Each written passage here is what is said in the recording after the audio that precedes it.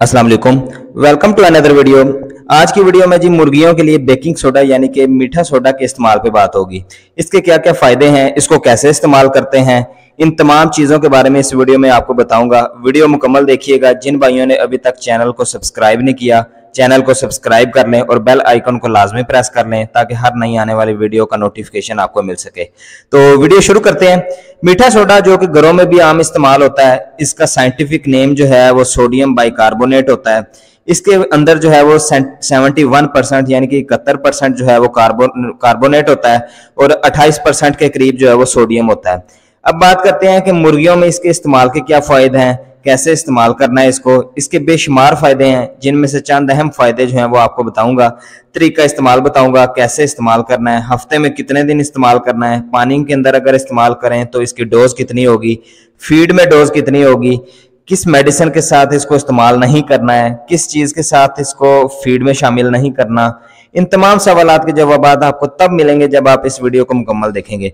मीठा सोडा काम क्या करता है? दस काम करता है जी ये। मीठा सोडा इन दस कामों को अच्छी तरह समझने के लिए पहले जो दो तीन काम है वो इंतहाई अहम है। पहले नंबर पे ये हो गया जी, मीठा सोडा पीएच में बहुत ज़्यादा होता है। यानी पीएच इसकी बेसिक है। ये जिस भी पानी में डालेंगे इसकी पीएच बढ़ा देगा। जिस भी जगह इसको डालेंगे, इसकी पीएच बढ़ जाएगी। जब भी मुर्गियों का निज़ाम ख़राब होता है तो मुर्गियों की पीएच कम या ज़्यादा हो जाती है। कुछ चीज़ें होती हैं जो ज़्यादा पीएच को कम करेंगी। फ़र्ज़ करें कि प्रिवेंटिकुलस में जो पीएच है, वो दो होती है। अब पीएच दो से बढ़ के छः सात पे चली गई है तो डाइजेशन नहीं होगी। इसी तरह अगर आंतों में अगर पीएच एसिडिक हो गई है तो इससे भी जो है वो डाइजेशन नहीं होती, इसमें हाजमा खराब हो जाता है। मीठा सोडा मुर्गी के अजसाम में जाके पीएच को बेसिक कर देता है, जिससे आंतें ठीक तरह से काम करने लगती हैं। इस तरह खून की पीएच कम हो जाती है तो तब भी मीठा सोडा जो है वो इसे बेसिक करता है। कुछ चीज़ें जो है, पीएच जब ऊपर चली जाती है तो इसे कम करती हैं, जैसे कि ऑर्गेनिक एसिड है। तो ये इसका उल्ट काम करता है। इसका सबसे पहला काम ये होता है कि ये एंटी फंगल है एंटी बैक्टीरियल प्रॉपर्टीज़ करेगा। क्या होगा कि जिसम में बैक्टीरिया चले गए हैं, वो तंग कर रहे हैं मुर्गी के अंदर जो निज़ाम है उसको तो ये अंदर जाके पीएच को जो एसिडिक हो गई है, इसको ठीक करेगा। तो जितने बैक्टीरिया हैं, वो इसके ऊपर काम नहीं कर पाएँगे और बॉडी के जो बीमारियों के खिलाफ लड़ने वाला निज़ाम होता है, वो एक्टिव हो जाएगा। जितने भी बैक्टीरिया और फंगस अंदर चली गई है तो इनके खिलाफ काम करना शुरू कर देती है। लिहाजा ये anti bacterial anti fungal properties भी रखता है। अगर एंटी बैक्टीरियल एंटी फंगल है तो अगर किसी बर्ड में मसला आता है कि मुर्गी की क्रॉप जो है यानी कि खुराक वाली थैली में पानी आ जाता है, पानी भर जाता है, या वो बहुत ज़्यादा फूल जाती है, मुर्गी बार बार पानी पी रही होती है, इसको सौर क्रॉप कहते हैं। बाज दफ़ा मुर्गी का पोटा जाम हो जाता है, वो भी इसी वजह से होता है क्रॉप के अंदर जो खुराक की थोड़ी बहुत तोड़फोड़ होती है, वो फंगस अंदर जाने की वजह से नहीं होती। तो मीठा सोडा इसकी पीएच को ठीक करता है, जिससे जितनी भी फंगस या सोर क्रॉप है या मुर्गी का पोटा जाम है तो मुर्गी इस मसले से निकल आती है। ये दो चीज़ें होगी। तीसरी चीज़ है कि जब खुराक जिसम के अंदर जाती है तो वहाँ पे पीएच जो है, वो एसिडिक हो गई है एंजाइम्स ठीक तरह से काम नहीं कर रहे होते, पोटे में ठीक तरह से डाइजेशन नहीं हो रही होती, जिस वजह से मुर्गी खुराक भी कम खाती है तो मीठा सोडा अंदर जाके पीएच को ठीक करेगा। तो इस तरह मुर्गी का निज़ाम हज़ाम ठीक होगा। मुर्गी दोबारा पूरी खुराक खाना शुरू कर देगी। मुर्गी को भूख ज़्यादा लगेगी तो इस तरह बर्ड का जो फ़ीड इनटेक है वो भी ठीक हो जाएगा। तो ये फ़ीड इनटेक के, के लिहाज से भी बहुत अच्छे तरीके से काम करता है। अब जब बर्ड का निज़ाम निज़ाम बेहतर होगा तो इसके जो ऑब्जॉर्बशन है बेहतर हो जाएगी। जिसके तमाम हिस्से जिसम के जो तमाम हिस्से हैं वो ठीक तरह से काम करना शुरू कर देंगे। जिगर ठीक तरह से काम कर रहा होगा। जितना भी जो जूस आ रहा होता है इसके अंदर जो एंजाइम्स हैं वो डाइजेशन ठीक तरह से कर रहे होते हैं। आगे ऑब्जॉर्प्शन जो है वो बहुत बेहतर हो रही होती है, क्योंकि जो बैक्टीरिया डाइजेशन या ऑब्जॉर्प्शन को ठीक तरह से काम नहीं करने दे रहे होते, वो मीठा सोडा इस्तेमाल करवाने से ठीक हो जाते हैं। लिहाजा ऑब्जॉर्प्शन जो है वो बेहतर हो जाती है, और जब ऑब्जॉर्प्शन बेहतर होती है तो बर्ड की एफसीआर ठीक आएगी। ये मीठा सोडा का चौथा काम है कि ये बर्ड की एफ़ को बेहतर करता है। कैसे करता है, ये मैंने आपको बता दिया है। इसके बाद ये है कि मीठा सोडा के अंदर जो है वो कार्बोनेट होता है। इसके अलावा और सोडियम होता है कार्बोनेट मिनरल की मूवमेंट में बहुत मदद करता है। जब आप अंडे देने वाली मुर्गियों की खुराक में मीठा सोडा शामिल करते हैं या पानी में शामिल करते हैं तो मुर्गियों की जो, उसमें अंदर जो फास्फोरस की मूवमेंट है, वो बेहतर हो जाती है, जिससे कैल्शियम की ऑब्जॉर्बशन जो है, वो बहुत बेहतर होती है, जिसकी वजह से अंडों के छिलके की क्वालिटी इसकी मजबूती बेहतरीन हो जाती है।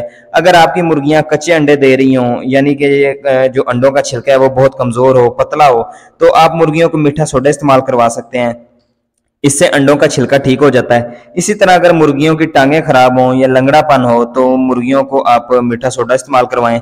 इसके बाद मीठा सोडा ये काम करता है कि जब मुर्गियों की फ़ीड इनटेक का बेहतर होती है, यानी कि वो ठीक तरह से खुराक खाना शुरू कर देती हैं तो मुर्गियाँ पानी ठीक मकदार में पीती हैं, यानी कि मुर्गियों का वाटर वाटर जो है वो इनटेक बेहतर हो जाता है। अगर मुर्गी खाना में बहुत ज़्यादा स्मेल आ रही हो मुर्गियों की बीठों से बहुत ज़्यादा स्मेल आती है, आती हो तो इसके लिए भी आप मीठा सोडा इस्तेमाल कर सकते हैं। अगर आप मीठा सोडा इस्तेमाल करवाते हैं तो जो बैक्टीरिया अमोनिया गैस पैदा करते हैं आपके मुर्गी खाना के अंदर, वो पैदा ही नहीं होते। इनकी तादाद को मीठा सोडा बहुत कम कर देता है, जिससे जो है वो मुर्गी खाना में स्मेल पैदा नहीं होती। मीठा सोडा जो है वो एक और बहुत अहम काम करता है। अक्सर मुर्गियों के पंजों में आपने देखा होगा कि चंडी बन जाती है। मीठा सोडा चंडी को भी ठीक करता है, क्योंकि जब मुर्गियों के बिस्तर में अमोनिया पैदा करने वाले जो है बैक्टीरिया मीठा सोडा की वजह से जो है वो ग्रो नहीं करते, वो पैदा नहीं होते या खत्म हो जाते हैं तो चंडी जैसे मसाइल भी पैदा नहीं होते। मुर्गियों के गुर्दे जो है वो मीठा मीठा सोडा की वजह से जो है, अगर ठीक काम ना कर रहे हो तो मीठा सोडा इस्तेमाल करवाने से वो भी ठीक काम करना शुरू कर देते हैं। ब्लड की पीएच को ठीक करता है, जिससे गुर्दे अपना काम ठीक तरह से करते हैं। किडनी ठीक काम करेगी तो जिसम में मौजूद पानी जिसम से बाहर निकलना शुरू हो जाता है, जो फालतू पानी होता है, जिससे जो है वो एस्ट्रिक का मसला नहीं आता। इन सब अहम काम जो कि मीठा सोडा करता है, वो ये है कि जब मुर्गी खाना में वेंटिलेशन ठीक ना हो हवा ठीक तरह से क्रॉस ना हो रही हो, यानी कि वो प्रॉपर तरीके से हवा मुर्गी खाना के अंदर दाखिल ना हो रही हो तो इसकी वजह से जो अंदर जो है वो हीट पैदा होना शुरू हो जाती है और इससे बर्ड जो है वो स्ट्रेस में चला जाता है। जब मुर्गियाँ पेंटिंग करें, यानी कि मुँह खोल के सांस ले रही होती हैं तो कार्बन डाइऑक्साइड जिसम से ज़्यादा मकदार में खारिज होती है, जिसकी वजह से ब्लड की पीएच जो है वो एसिडिक हो जाती है। तो जब पीएच एसिडिक होती है तो फिर इससे वो तमाम मसले शुरू हो जाते हैं मुर्गियों में आना, जो वीडियो में मैंने पहले आपके साथ शेयर किए हैं। एंजाइम्स जो है वो काम नहीं करेंगे टिश्यूज़ के अंदर ऑक्सीजन ठीक तरह से नहीं जाएगी, जिगर ठीक तरह से काम नहीं करेगा डाइजेशन नहीं होगी निज़ाम इंतज़ाम खराब होगा फ़ीड जो है वो ठीक तरह से नहीं खाएँगे आपकी मुर्गियाँ। जो है बर्ड जो है वो स्ट्रेस में चला जाएगा और एक साइड पे जाके बैठा रहेगा, जिससे क्या होता है जी, हवा उसके ऊपर से जो है वो गुजरती रहती है, जो ताज़ा हवा शेड के अंदर आ रही हो, मुर्गी खाना के अंदर आ रही हो, उस बर्ड को जो है वो साइड पे जाके बैठा रहेगा, उसको हवा नहीं लगेगी। इससे ठीक तरह से हवा भी नहीं लगेगी और ऑक्सीजन भी प्रॉपर नहीं मिलेगी तो इस तरह से इसकी जो है वो मोर्टेलिटी हो जाएगी। वो बर्ड आपका जो है वो ऑक्सीजन की कमी की वजह से मर जाएगा।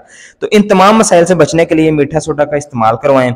सुबह के वक्त इसका इस्तेमाल जो है वो बहुत ज़्यादा बेहतरीन नतज देता है। आप फ़ीड और पानी दोनों में इस्तेमाल करवा सकते हैं, ताकि दोपहर के वक्त जो है वो बर्ड की पीएच बेहतर रहे, सुबह के वक्त इसको इस्तेमाल करवाने की वजह से। ब्लड और आंतों की पीएच बेहतर रहेगी तो बेहतर रहेगी तो बर्ड ऑक्सीजन की कमी का शिकार नहीं होगा, बर्ड स्ट्रेस में नहीं जाएगा, एक साइड पे जाके नहीं बैठेगा। तो मीठा सोडा जो है वो हीट स्ट्रेस से बर्ड को निकालने में बहुत मुफीद चीज़ है। ये चंद अहम काम, जो अहम तरीन काम है, मैंने आपके साथ शेयर किए हैं, जो कि मीठा सोडा करता है। आजकल के मौसम में मीठा सोडा का इस्तेमाल लाजमी करवाया करें। फ़ीड में या पानी में, किसी में भी आप इस्तेमाल करवा सकते हैं। मीठा सोडा इस्तेमाल कैसे करना है, इसे आप दो तरह से इस्तेमाल कर सकते हैं। पानी या फ़ीड में। अगर आप पानी में इस्तेमाल करेंगे तो इसकी जो डोज है वो होगी जी एक ग्राम तीन लीटर। यानी कि एक ग्राम मीठा सोडा, तीन लीटर ताज़ा साफ़ पानी में अच्छी तरह मिक्स करके मुर्गियों को पीने के लिए दें।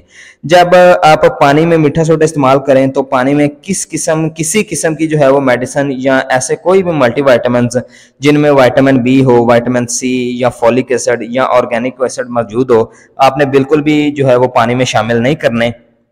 तो क्योंकि ये पीएच को ज़्यादा करते हैं, ये जो मैंने आपके साथ वाइटामिन शेयर किए हैं, और हफ़्ते में आपने दो से तीन दिन इस्तेमाल करवाना है, अगर इससे ज़्यादा इस्तेमाल करवाएँगे तो अंडों की जो है वो पैदावार जो है मुतासर हो सकती है, अंडों के आपके पास जो मकदार आ रही है वो कम हो सकती है। लिहाजा आपने मीठा सोडा की डोज और कितने दिन इस्तेमाल करना है, इस बात का खास ध्यान रखना है। अगर आप फ़ीड में इस्तेमाल करेंगे तो पाँच ग्राम जो मीठा सोडा एक किलो खुराक के अंदर अच्छी तरह मिक्स करके मुर्गियों को खाने के लिए दें। अगर आपकी खुराक पूरे दिन में एक बैग लगती है तो इसके अंदर आप 100 से 150 ग्राम मीठा सोडा शामिल करेंगे और मुर्गियों को खाने के लिए देंगे। तो ये थी आज की वीडियो। उम्मीद है वीडियो आपको इन्फॉर्मेटिव लगी होगी। अगर आपको वीडियो इन्फॉर्मेटिव लगी हो और इससे आपको कुछ ना कुछ फ़ायदा हासिल हुआ तो काइंडली वीडियो को शेयर कीजिएगा। दोस्तों के साथ चैनल को सब्सक्राइब लाजमी कीजिएगा और वीडियो को लाइक कीजिएगा। और अगर आप मुर्गमानी के पेशे से मुंसलिक हैं और आपको किसी किस्म के मसाइल का सामना करना पड़ रहा है तो कमेंट सेक्शन में कमेंट करके मुझसे पूछ सकते हैं। तो कोशिश करूँगा कि उस टॉपिक पे भी वीडियो बना के अपलोड कर दूँ। तो मिलते हैं किसी ऐसे नेक्स्ट इन्फॉर्मेटिव वीडियो में। तब तक के लिए अल्लाह हाफिज़।